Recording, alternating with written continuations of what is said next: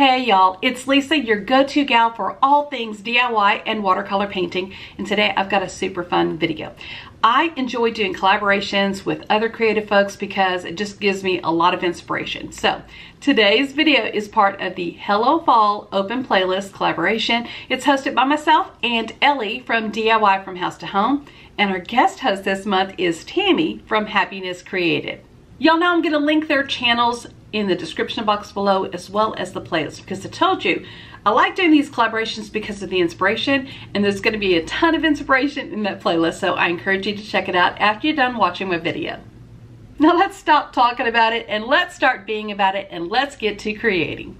On this channel, I love to share easy DIYs and budget home decor and all things watercolor painting. Welcome to Our Gray House. We're going to start off today's video with a watercolor painting decor item. and I'm using this watercolor paper. It's 117 pounds and I got it from Walmart. And I'm taking these three, is this a hexagon shape? I'm not even sure. But I got these from Michaels and I'm just tracing the shape out onto the paper. And then I cut out those shapes and I had sketched on some pumpkins, like a pumpkin scene onto each one. And I'm using my kneaded kneadable eraser or kneaded eraser, kneadable eraser, the one that you can kind of like knead. Anyways, I'm using that to kind of lighten up my sketches. And then I'm using my Artist Loft palette that I got from Michaels and I'm just using the orange color. And I don't I don't know the names of the colors that I'm using. I, I don't have this palette memorized, but I'm doing a light um, wash first of the pumpkins. And the thing that you need to remember about watercolor painting is you start with your lightest value and then you can build it up, but you can't unbuild it really, at least not that easily. so um, I'm going back after it dried and I'm darkening it up a bit. I did add some just like green blobbish kind of things. It wasn't like really leaf shapes. I was just kind of putting some greenery down because I knew that I was going to go back in with a pen, a pen later and kind of give it more detail. And I'm taking a brown color and I'm putting on the stem on the pumpkins. After that dried, I went back in with another layer to kind of darken it up and give it a little bit more definition. Again, you see me going back with the pumpkins and just adding a little bit more color there to just kind of further define it and help it to not look so flat. I do that with all of the pumpkins until I like how they look. And I also add a little bit more green and just till I like how it looks. And I added a little tendrils and some leaves to the top. And then I used that little saucer to kind of trace on a half circle. And here's me trying to figure out what I'm going to write, what I'm going to say, what's, what I'm going to put here. And I ended up just kind of penciling in the words happy fall. And then I took my micron pen and I'm going over it. And oh, I put happy fall, y'all. so anyway, I'm darkening darkening it up. I'm I'm not super happy with my lettering skills right now. I I need to kind of work on that, be a little bit more patient with myself. But, you know, overall it looks fine. And so now I'm prepping the little hexagon. Is it a hexagon? Y'all correct me in the comments below if, it, if I'm wrong. But I'm just taking the stickers off because I don't like that. And I'm also taking the hangers off of two of them because um, I don't need them. And I'm just saving the little pieces in case I need to use them later with another project. And I'm just kind of, um, um, I was taking off the rest of that uh, jute twine on the back of the other two that I don't need. Then I'm taking the color honey brown and I'm painting all of the thing. And I'm eventually I'm just going to paint the inside. I was trying to just do the frame and then I go back and I just do the whole thing. But I'm trying to be careful with it and not get all messy. So as you can see, it's all done now. And I'm kind of doing a dry fit and I'm having to, because they're not like perfectly shaped, you kind of got to adjust and make some cuts to help them to fit better. And I, I feel like they fit fine, but you know, it's not perfect. And that's okay. It doesn't have to be perfect. But you can kind of see how I have, and I'll give you a closer look at the final reveal, but um, I went in with that pen and outlined some leaves and stuff like that. So I used wood glue that I got from Dollar Tree to glue those together. And then I'm just using a little bit of, I think it's Aleene's Tacky Glue to glue those inside. I should have used a glue stick, to be honest, or found it just a different way because it kind of warped the paper just a little bit on one of them. But you can't really tell. And this is how it turned out. And you can use this it doesn't really fit on a tier tray, but you could use it like in a little vignette on a shelf somewhere, and it would be a really cute fall piece to add to your decor. And you made it, and it's easy to do, super easy. I'm really loving watercolor painting.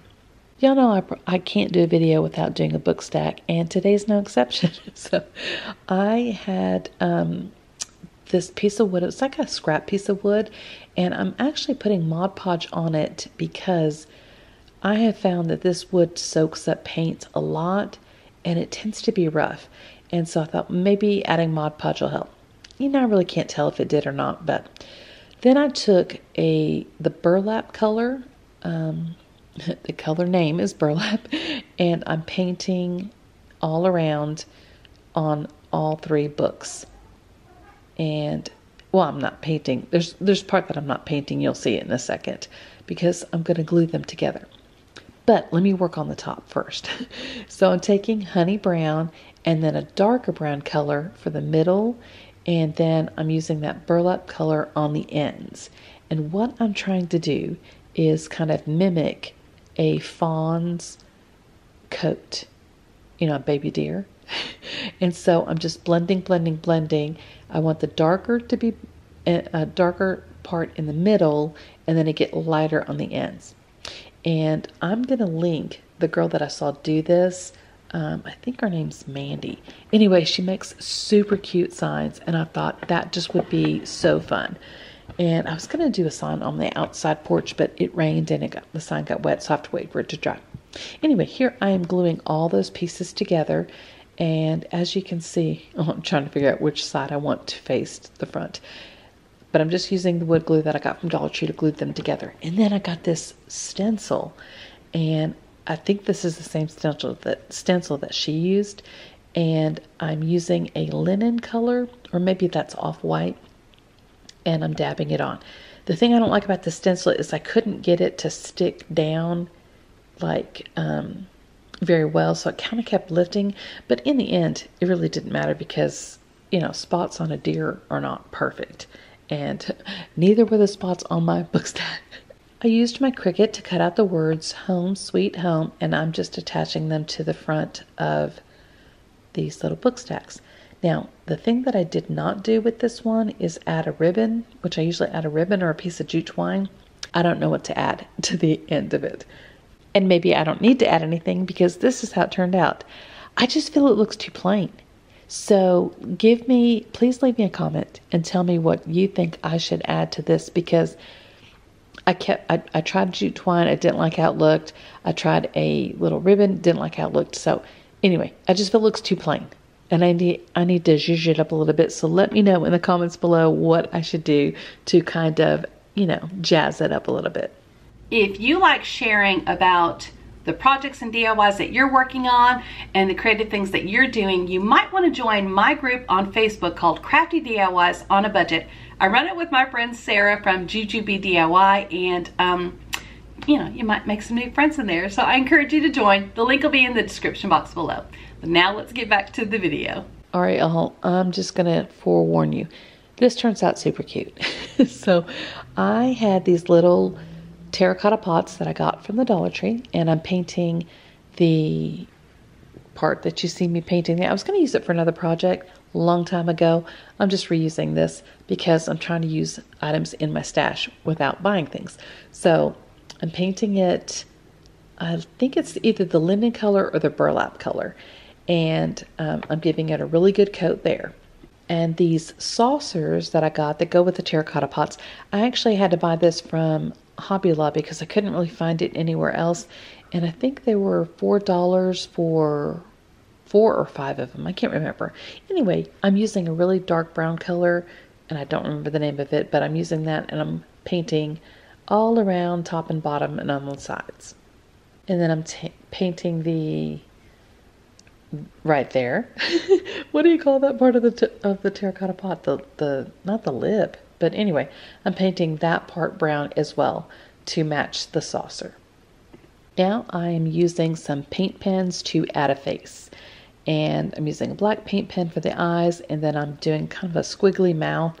And then I go back in and put like stitch marks. This is going to be a scarecrow. And I use an orange paint pen to make the nose and then here I'm drying it because I'm an impatient crafter. and then I'm taking my white paint pen and trying to add the eyes on. It is a little harder. The the paint pens that I have don't work as well, but you know, we make it do. Then I had this hula skirt from Dollar Tree, and I had this ages ago, and it's lasted me forever.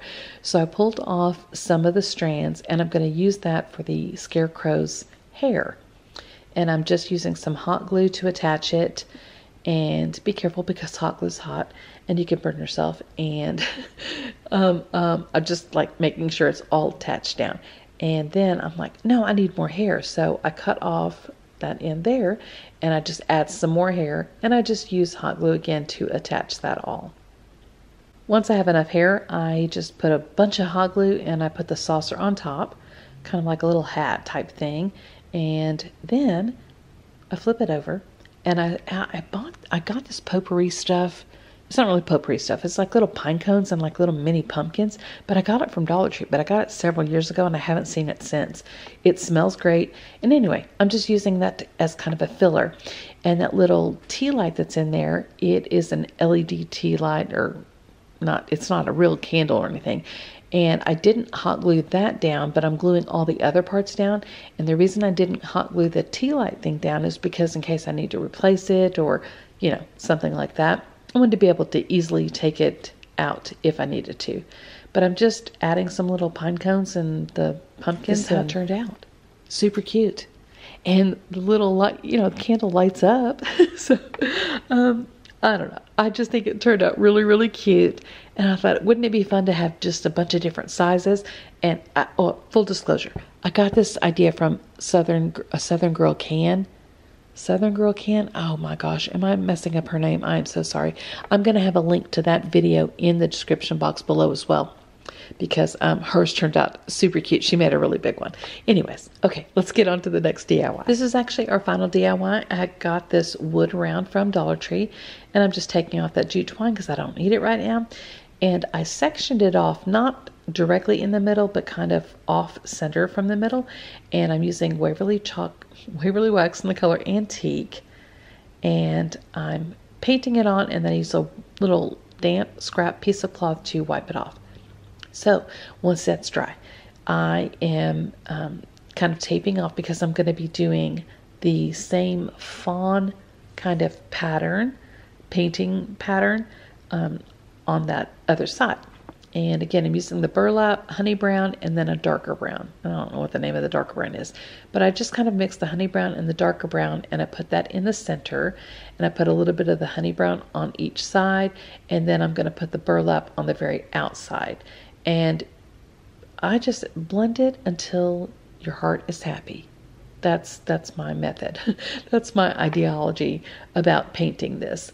Um, because it's really kind of hard to explain. You just got to kind of keep messing with it, and you'll see me adding more color and blending, blending, blending, adding a little more color, blending, and just till I like how it looks. So then I reveal the tape. I love a good tape pull and I put the tape back on on the edge of where the Waverly wax was and you see me doing it there. And I'm going to take some black paint and I'm just going to make like a thin line because I kind of wanted something to differentiate the two sides. I didn't want them just like going together. So now that that's dry I'm going to take the painter's tape and I am going to lay down that stencil that I got from Hobby Lobby and I'm just going to lay the tape over the line okay and then I'm taking the color it's burlap and linen I think I no I used antique white or off-white and the linen color and I'm using that to make the stencils now you know I'm not really into like hunting or anything, so I really don't know the fawn pattern other than what I Googled. so I'm just stenciling on a whole bunch of these spots and hoping that it looks somewhat like a fawn's coat. The thing I don't like about the stencil is, I think I mentioned this before, it's not staying down. It keeps lifting and it's not like sticky. That that's my only complaint. And because of that, the stencil is not near as crisp as maybe it could be, but on the other hand, it looks more natural to me. Anyway, that's my thoughts on that. I have to touch up the black because again the stencil lifted a little bit and it got on part of that black line. And then I used my Cricut to cut out the stencil that says Hello Fall. And I'm attaching it to the plain side, the, the side that I have that antique wax on. And I had forgotten, I didn't remember, that vinyl doesn't really stick to the um, antique wax very well. So what I should have done is put a coat of Mod Podge down first, but I didn't. And I didn't want to relay stuff down, so I didn't want to mess with that. So what I'm doing is just taking some Mod Podge and I'm putting a hopefully light enough coat that it'll help it stick, but it won't like look weird or anything like that. And this is how it turned out. I love it. Now, the only thing that I'm kind of wondering is like, should I put a bow on it? Should I? It's going to go on my front, well, actually on a wreath in my house, and it'll go in the center, and I'll have like colored um, floral around it. But should I should I put a bow on it? What do you guys think? Let me know in the comments below. And let me know in the comments below which one was your favorite. I would love to know. Thank y'all so much for joining me today while I paint, craft, and create. I hope you enjoyed the DIYs that I shared today. And don't forget, I've got tons of information in the description box below, so check it out. And um, let me know which one was your favorite. Uh, let me know what's going on with you today. What are you working on? um, yeah, I, I, think that's it. And so I'm just going to wrap it up. Um, and thank you. I appreciate you watching my video. I really do. And if you want to follow me on social media, like here on YouTube or over on TikTok or Instagram or Facebook or something like that, my handle is Our Gray House. But just don't follow me in real life though, because that's creepy. Bye!